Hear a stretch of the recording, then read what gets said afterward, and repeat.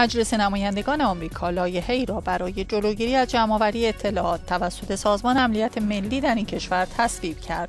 تصویب این لایحه جمع‌آوری اطلاعات گروهی از طریق شنود تلفنی و ایمیل‌ها را برای سازمان امنیت ملی آمریکا محدود می‌کند.